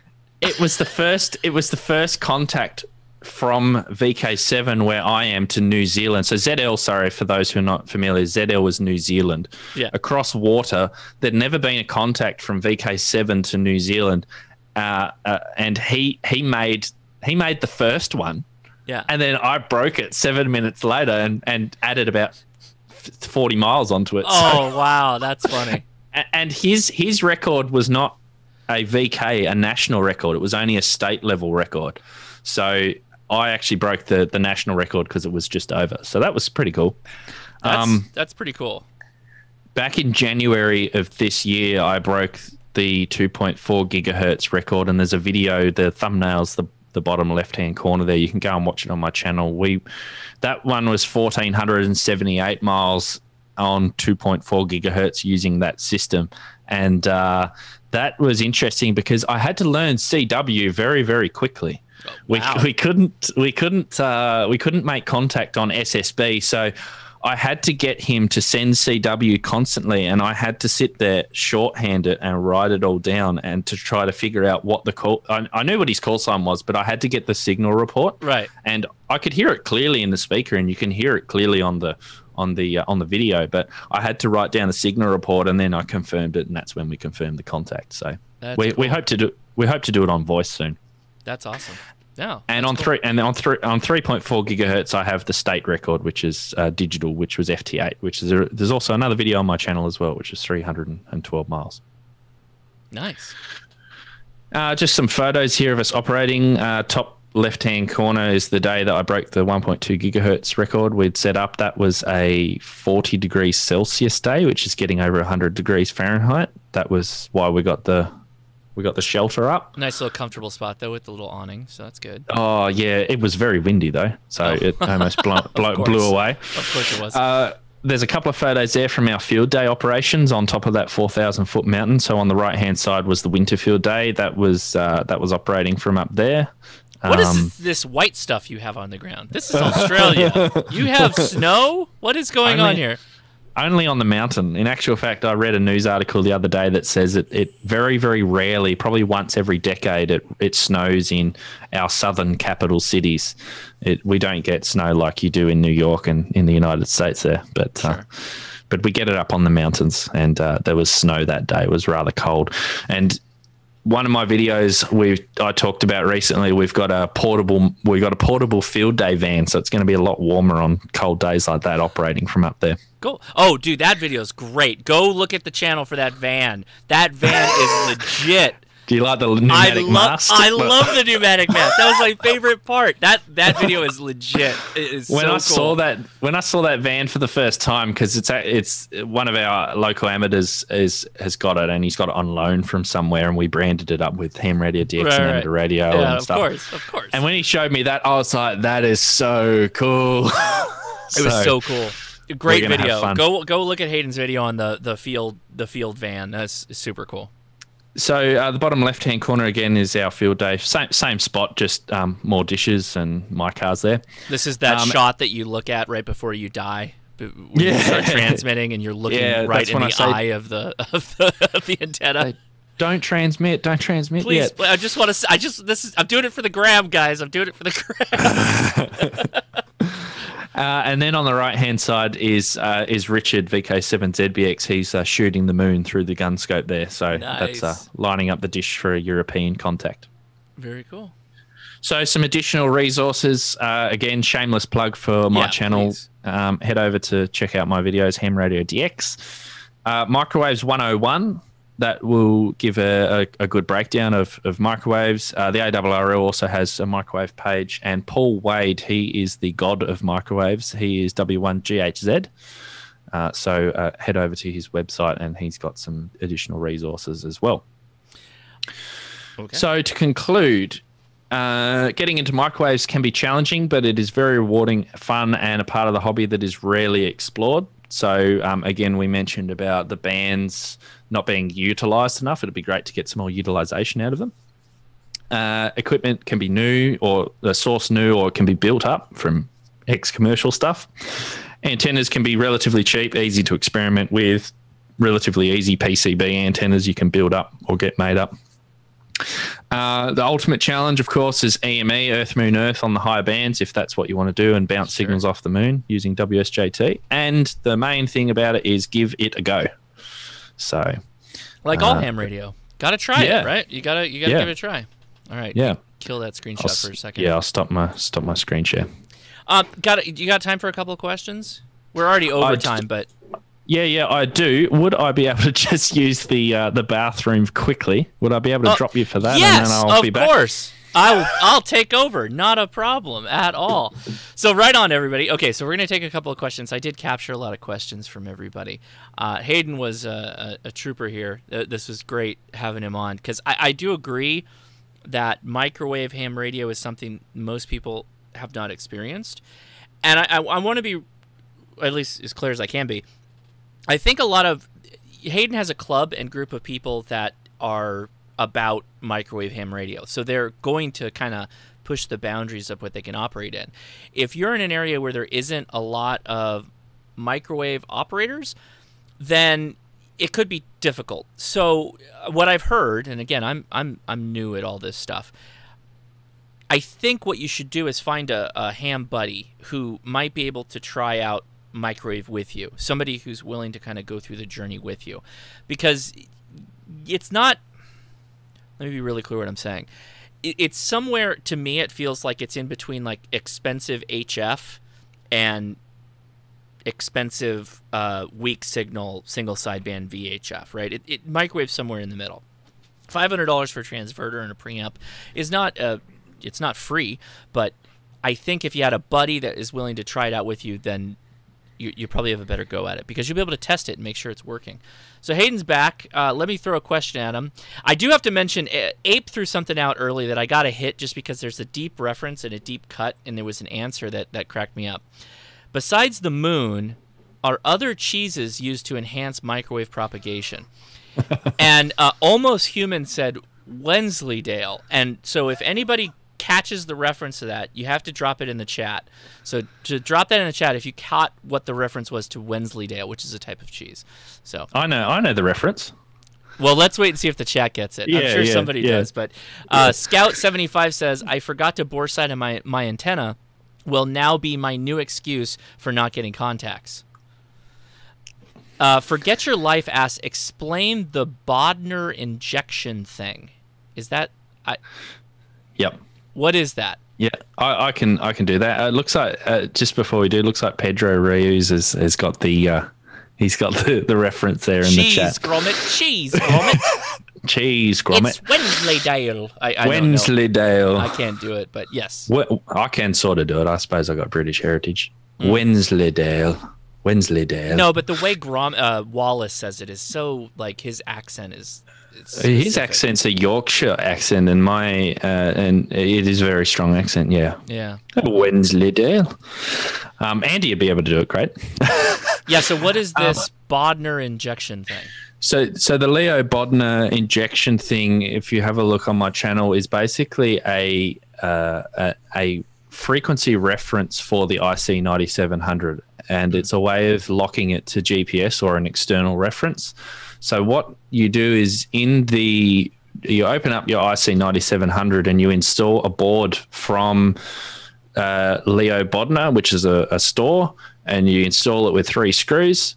Uh, it sits on top of a, a, a little oscillator can in the 9700, and then you hook up uh, an SMA connector to the back. You know, there's an SMA connector on the back of the the IC 9700. You replace that connector with another with a cable that's supplied, and then you can plug in a 10 megahertz. Uh, sorry, you can plug in the the Leo Bodnar uh, board that he provides, a little box, a little programmable box. And what that does is it overrides the oscillator in the radio and then locks it to that external reference. And then that way you can Ah. connect it. You can connect it to a GPS, and and then you'll you'll know that your IC ninety seven hundred is right on frequency. It won't drift. It won't move anywhere. It's right on frequency. Good to go. So And as we learned today, very important. Those are very important things. Yeah, yeah. Uh, it's it's also important to to try and have a state, especially at the really high frequencies, have a stable IF radio. So your 817, 817, 818, uh, 705 type thing. The 818, 817, uh, we had a board in Australia where we could lock that to GPS. However, I've had I've had successful contacts up to um, we've had successful even digital EME contacts um, up on up, you know, up up higher and not needed to GPS lock the IF radio. So. And the 705 must make that a little bit easier with the with the GPS capability, I guess. But yeah, uh, Don says the 9700 doesn't have a 10 megahertz reference out of the box. It does have a 10 megahertz reference, but it's a one-off reference. You have to go into the menu. If you click, if you plug in 10 megahertz in the back, you have to calibrate it manually. ICOM released a firmware where it automatically calibrates it on the fly, but if you use it for WSPR, it's not quick enough. It's not it's not fast enough. Mm-hmm. So that's where this board comes into it, and and it'll lock it in real time. So okay. got a couple. I, I want to go through these questions so I can let you go because I know you got to run out of No, here. well, so I've just I've decided that I might stick around in the after chat anyway Oh, because cool. I, there was a lot of ham there was a lot of home improvement references that people wanted to know. So Uh, okay, well, so apparently it's going to be a home improvement after chat. If you want to join us on the Discord, the link is in the description and, and also pinned to the chat. But I'll give you another uh, another question, uh, and actually this is a very easy one. But uh, Foma Born asked, "This is a question that I should know the answer to, but what license class is required for this cool microwave stuff? For the United States, it's technician. what is it in Australia?" Uh, so if you're a standard or an advanced licensee, then you, if you're a standard, you can operate on three of the microwave bands. Advanced licensee, you can operate on all of them. But Okay. that's the good thing in the United States is even if you're a technician, you can get straight into it because you've got everything. You've got everything. Oh, yeah. This ten is- meters and above. This is another one of those cool like technician things. Like you can do satellites, you can do this cool microwave stuff, and up, up to dangerous levels of microwaves. We can we can do. Yeah. I'm gonna reset my chat. I don't know why it, it did that. Let me see if I go back. No, that's weird. It's all freaked out. Uh, okay, we'll just continue with the questions. Greg K6EC EGG asks, "What kind of coax do you generally use?" So the coax that I use because I, I run portable, I run it off. Uh, well, with my portable setups, I run the hardline. Um, it. I'm trying to remember offhand. I should have I should have written down what the what the model of it is. If you go to eBay and put in uh, ha- uh, coax hardline, it's a it's a blue one. Oh, I can't remember. But if you've got if you've got uh, like a, if you're setting this up for home and you're putting it on your tower, then I'd use LDF 450 or above because of the just just pay attention to how much loss it has at that particular frequency um, and and and and also see how much power it can also handle. Generally the power limitation is not a problem unless you're um, up really high but uh, definitely the loss. Just make sure that the loss is not excessive. You don't want to sort of be getting if you're getting 3 db of loss you're losing half your power and half your signal and that can really make or break your your contacts and your ability to make contacts using it. So um, try and mount it as close to the antenna as possible is probably my advice. Okay, very good. Let me get another question here. And I lost the chat completely, so I don't know what happened, but that's fine. So, single cab Steve asks Can old ENG TV equipment be repurposed? I don't know what ENG. I, I, I gather ENG means engineering. Um, I am not sure, but you can definitely get old any anything that is close to amateur frequencies. Generally, you can retune and you can get them. Uh, uh, what I would do is I would probably get the model number of the gear and then do a search for it on Google or go to say a Facebook group or a or a groups.io group for those who are interested in microwave. Uh, I think there's a Facebook group called Microwave DX. Uh, there might be groups.io, um, forums, stuff like that. Just post in there and say, hey guys, I've got this particular model, blah, blah, blah. Has anyone tried this on this band? Or has anyone tried moving it to this band? Obviously, if you find like, if you find a dish with a feed horn that's near 10.5 gigahertz, then there's no point trying that you know at 24 gigahertz or you know a, a long way away just try, just try and get something that's close to the to the band that you want to operate on and then generally Ah. you can you, you can generally get it to work yeah He, he clarified ENG is electronic news gathering. So I'm assuming that's like van to van or to Oh. the station. So I'm assuming yes. Uh, just just a Oh, and that's yeah, yeah. So um, there would be some gear, probably mainly I would say the dishes, the antennas. Okay. Uh, depending on again, depending on what frequency band they run on, the broadcasting equipment probably not. I mean, we, uh, especially not for a beginner. I mean, though uh, I mentioned about those X ISP units that we that we uh, we converted. Someone someone else wrote the documentation and did all the programming and stuff, and I just followed the instructions. Um, but yeah, it's it's hard to it's hard to get that gear to work there. Um, but definitely, if there's other stuff in between, like filters or or mixers or oscillators, you can use you can use all that gear for sure. Don N5SKT asks, what is the difference, or explain the difference between horns and dishes? Because you kind of use the term not interchangeably, but you mention them. Yep. So, uh, so horns basically are a very well, they're a fairly they're a fairly simple antenna. They are directional, but they they're a little bit they're not uh, the beam width on them is not as focused as what would be coming out of a dish. Sometimes we use horns as uh, as a feed point. So mm-hmm. so that's probably a good point. Horns are, are, are, a feed point, and the dishes are the reflectors. Um, you can oh, have different. I see. Okay. You can you can have different feeds. You could have a you could have a dipole as a feed.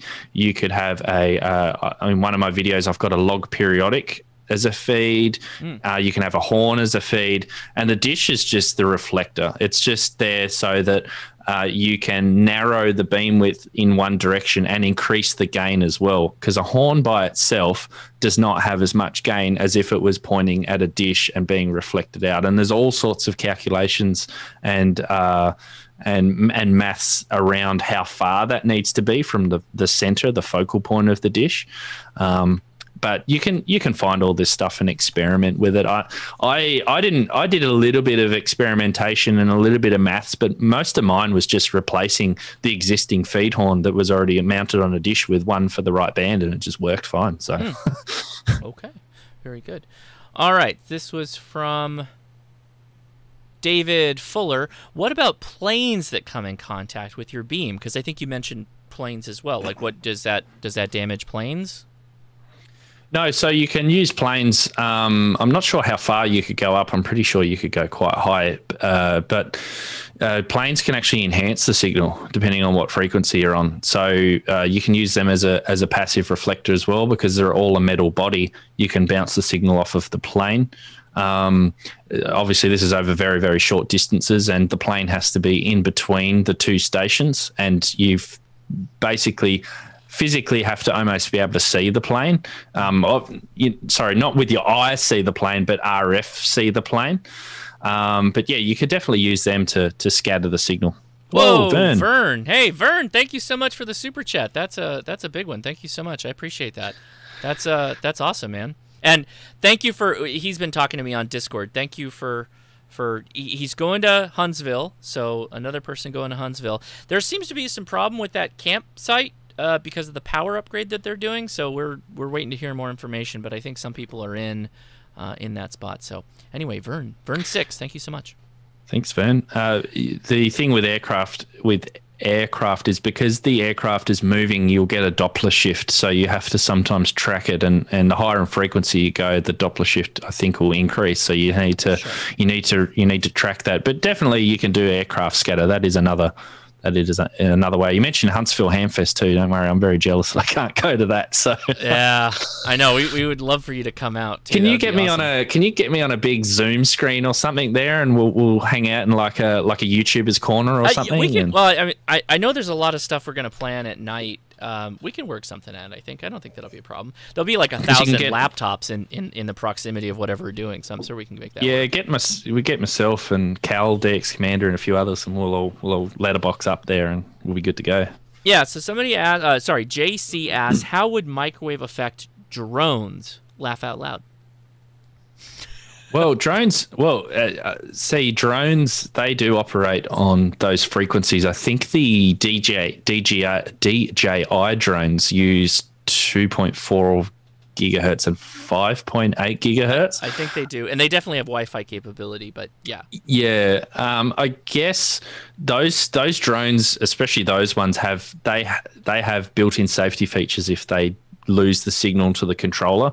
So I think even if you were to point your microwave dish at a drone flying in the sky, it's probably just going to fly back to where it started off as a Right. safety feature. I gotta And get out of uh, here.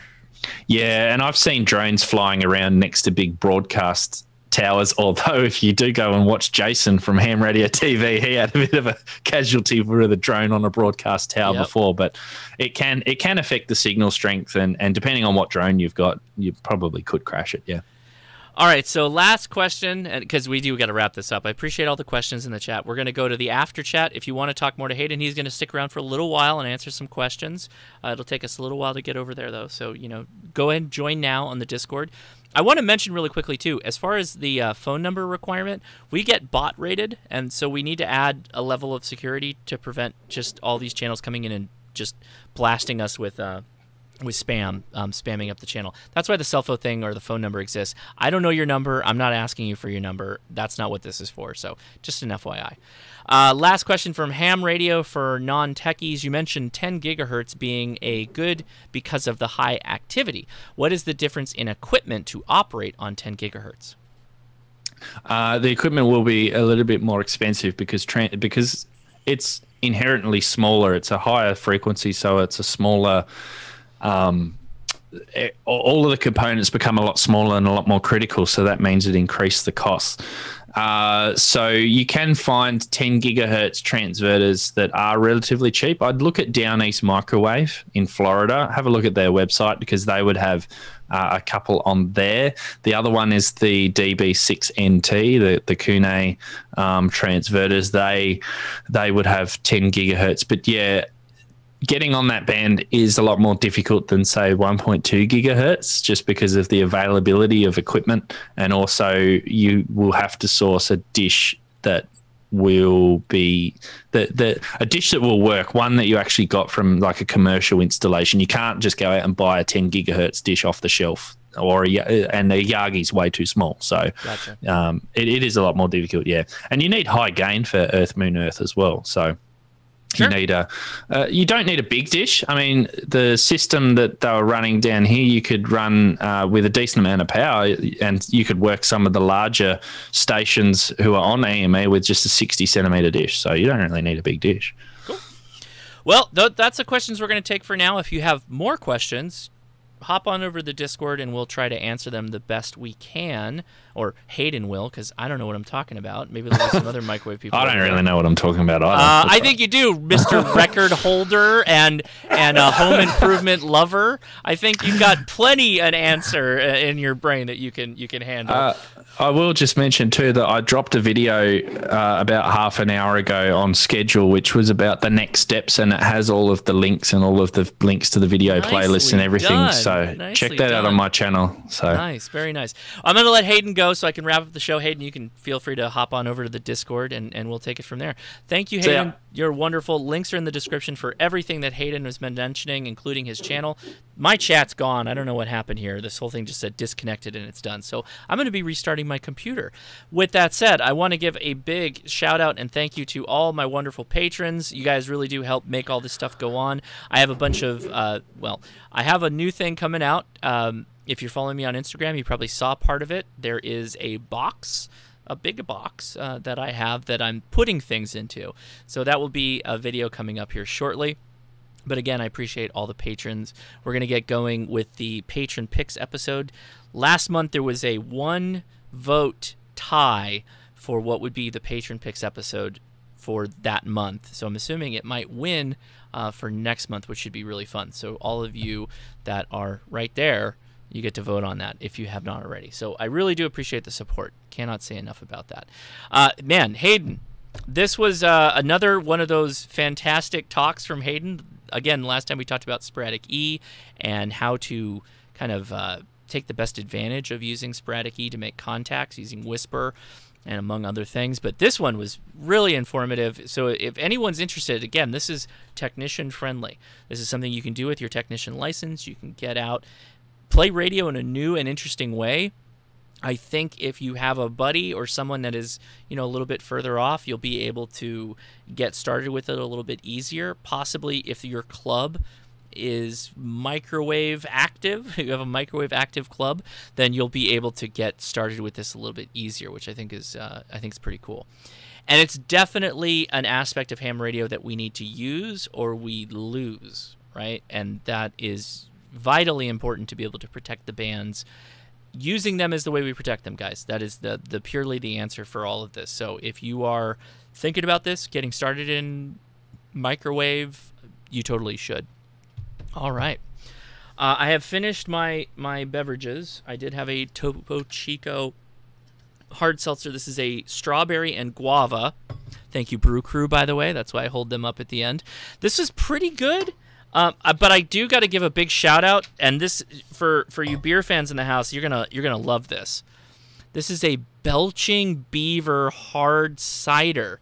This is a raspberry and blackberry, and it says real fruit, not clear fruit. It's really good. They did a really good job. It's not like super super sugary sweet. tastes fantastic. I'm going to Discord. I hope you join us over there too. Thanks so much for watching. Give me a thumbs up and subscribe if you have not, because I live stream just like this every Saturday 5 p.m. and every other Wednesday at 6 p.m. all Pacific Standard Time. Until I talk to you again, I'm Josh KI6NAZ73. Have some memes, and I'll play you out. Not the white box again. I hate that white box. I don't understand why it's there.